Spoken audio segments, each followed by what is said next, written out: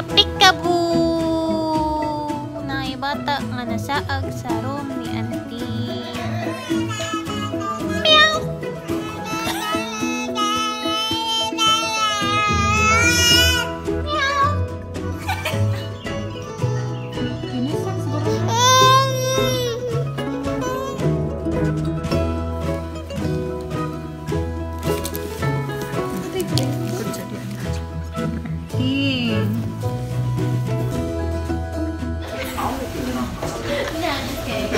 for the next.